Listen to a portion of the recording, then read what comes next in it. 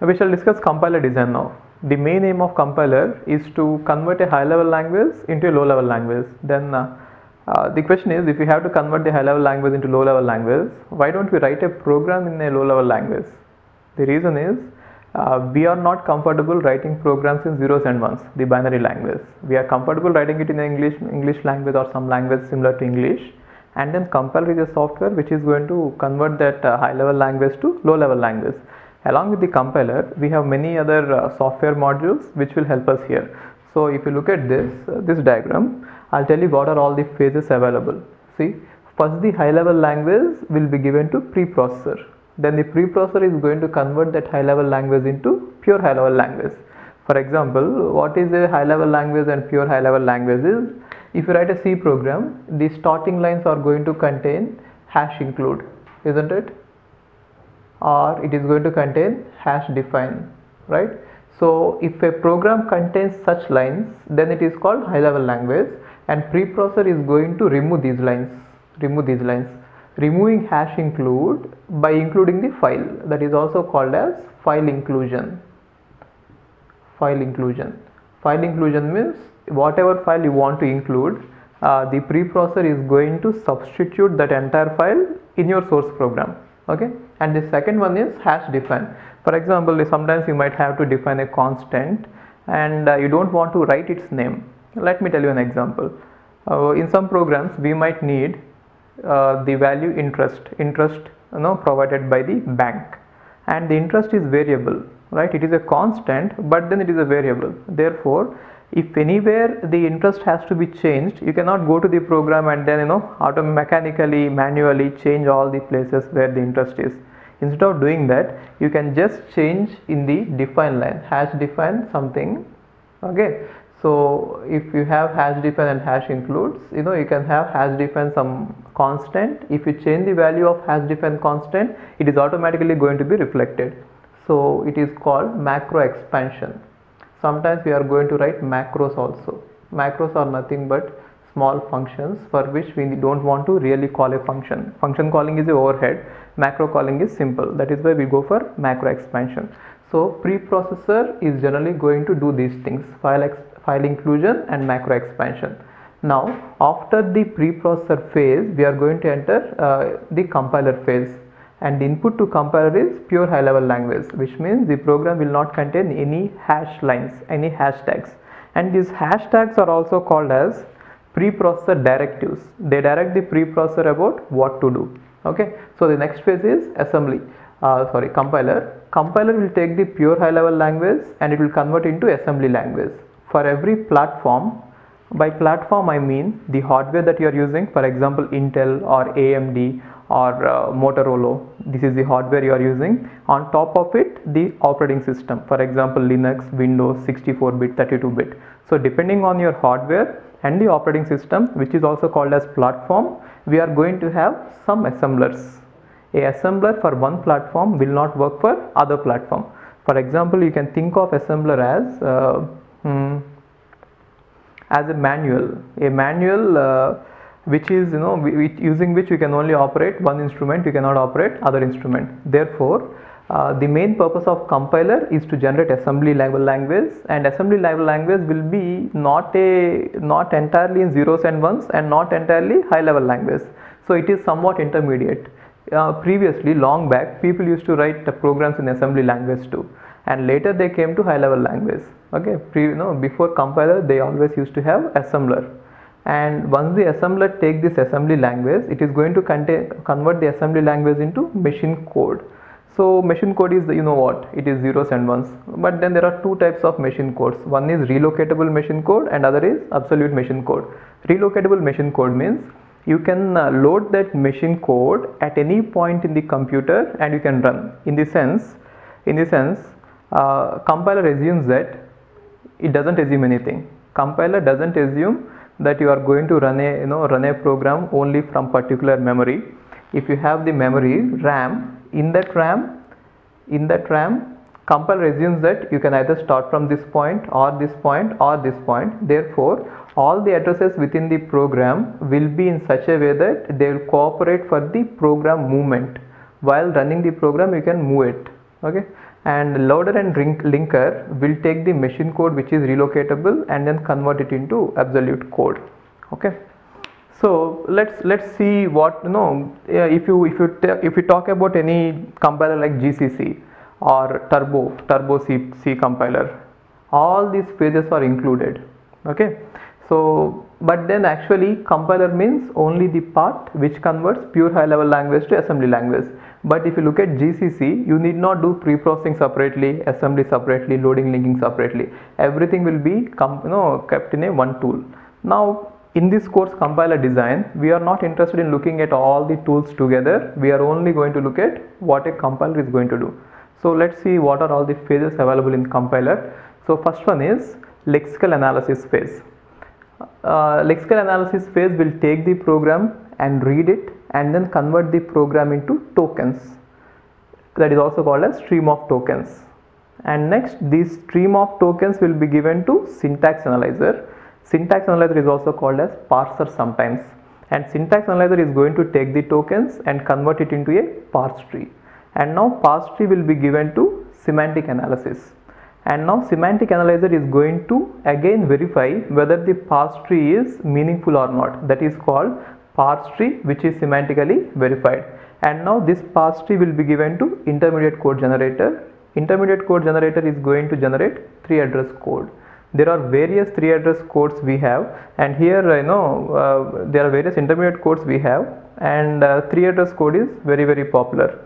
And now the output of this intermediate code generator will be given to code optimizer. The main purpose of code optimizer is to reduce the size of the program or is to reduce the number of lines. And then it will be given to target code generator. And target code generator is finally going to generate the assembly code.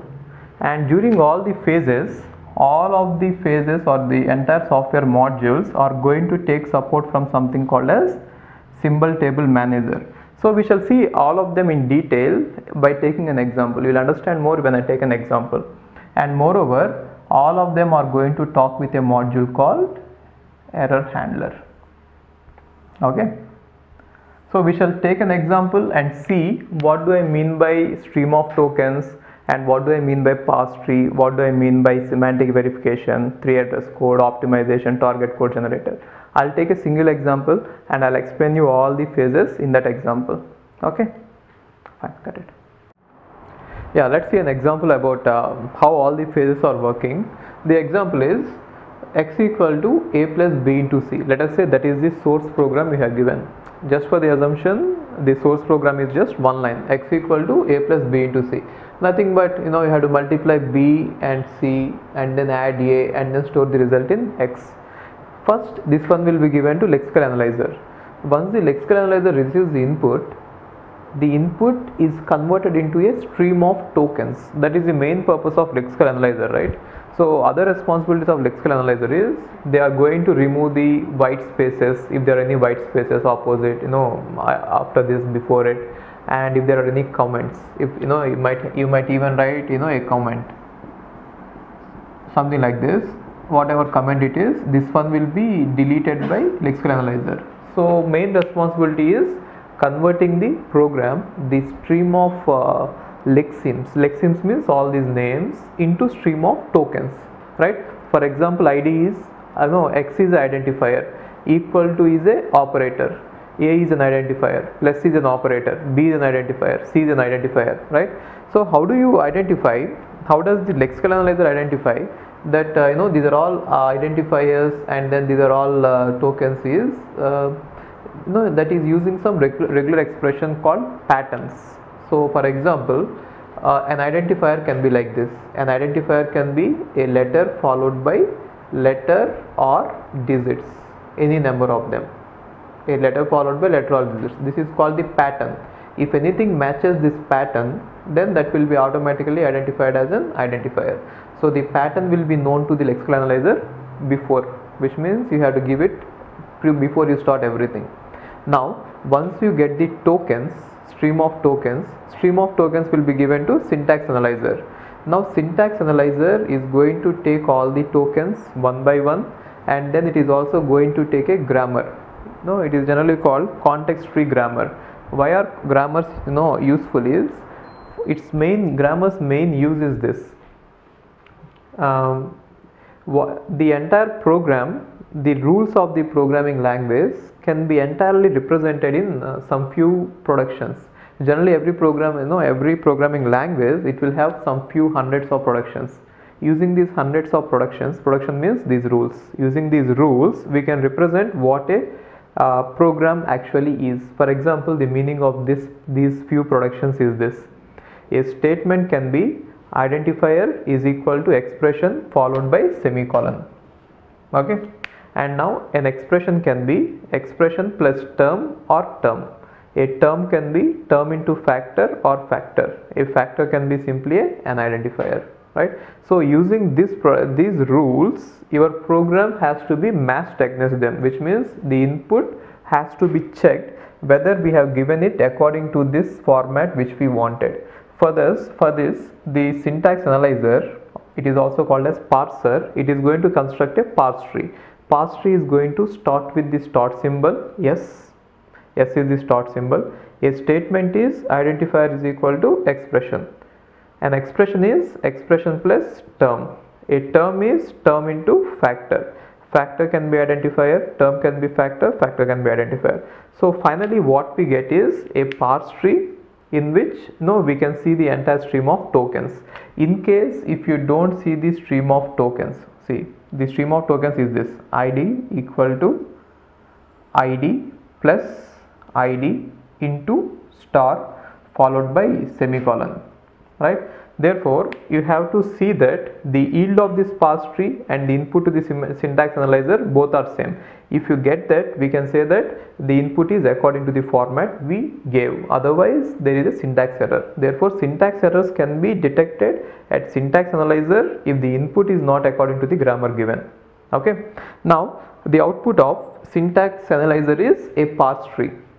This parse tree will be given to semantic analyzer the next phase right? So semantic analyzer is going to take the parse tree and verify it semantically semantically in the sense whether it is meaningful or not. For example it is no identifier is equal to something right? Now left hand side has to be a variable. It cannot be a constant or it cannot be a function name or it cannot be an array name so left hand side has to be a variable which is compatible with the type of the right hand side. So all such type checkings are, have to be done at semantic analyzer. Okay.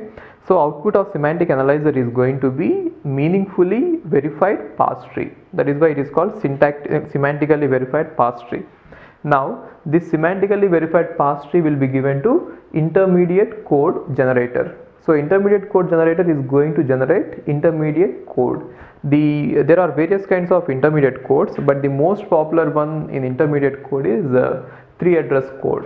Why is it called three address code is if you look at any line there are only three addresses. For example in this one t1 bc t2 at1 x t2 which means maximum there can be three addresses. I mean you know it can even be less. So the given statement is four addresses now we reduce the statement into three addresses. This is three address code. Why do you want to convert something into intermediate code generator is if you can convert a program into intermediate code then that intermediate code can be converted to machine language using the last two phases which are dependent on the platform. So till this part whatever machine you are going to run the compiler on this part is completely same which means if you want to design a new compiler for a new platform you need not start it from the scratch. You can take all the phases till intermediate code generator and you can change the last two phases so that the new compiler can be formed. Okay? Therefore if you are having an existing compiler what you could do is just take it and then change the last two phases so that you get a new compiler for a new platform. For example if your existing compiler is uh, writing some code uh, which will run on a computer. Maybe if you want to do a code or run a, write a code which will run on a mobile phone just you change the last two phases these two phases. You need not change everything. Okay? And then by taking this intermediate code the code optimizer is going to reduce the number of lines. How many lines were there? Three lines were there. If you look at the lines first what is what are they doing is first they are trying to multiply b and c. First they are trying to multiply b and c and then put it in t1 and then add a to t1 and then put it in t2 and then write t2 into x. Now by using code optimizer we are actually reducing the number of lines. We don't need actually three lines to do this job. Only two lines could do it. Okay?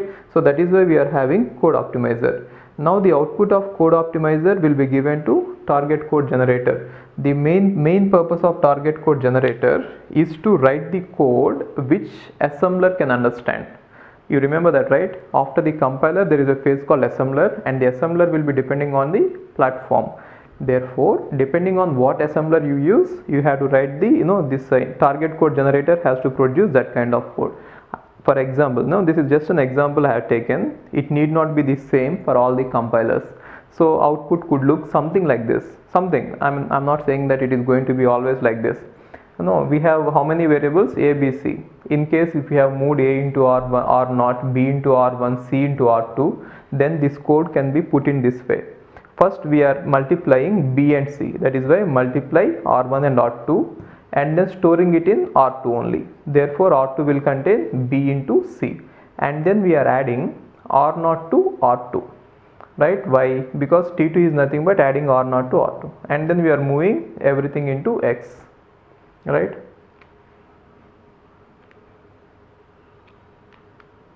So this is this is actually x. X equal to a plus t1 and then we are moving everything into x right so theoretically this is what all the phases are supposed to do. But then practically when you come to the practical implementation of compilers we really don't have all these phases. Most of the phases or most of the jobs or the functions are done by uh, syntax analyzer itself which means the syntax analyzer is the generally the heart of the compiler uh, which is even going to take lexical I mean when you implement it you are not going to implement it separately in the same module you are going to implement even the lexical analyzer and the semantic analyzer also and even intermediate code generator.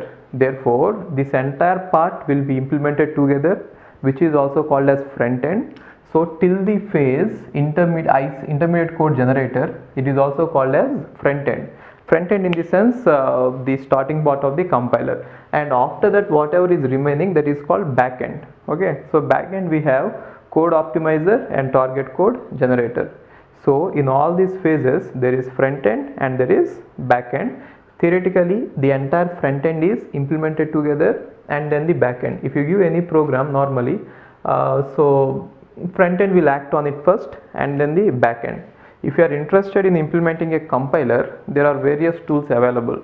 So first thing is for lexical analyzer there is a tool called lex available in unix. So you can uh, you can implement you know lexical analyzer using lex. And for syntax analyzer there is a tool called uh, YACC yet another compiler compiler. And if you want to do any project on this uh, compiler there is a tool called LANCE LANCE LANCE so LANCE is nothing but implementation of the front end of the compiler which will give you intermediate code and then you can implement backend on your own depending on the platform. Okay? So what I mean to say is theoretically there are all the phases but practically we have front end and back end. All the phases you know till this intermediate code generator are implemented together and mainly they are implemented in uh, syntax analyzer. Okay? Okay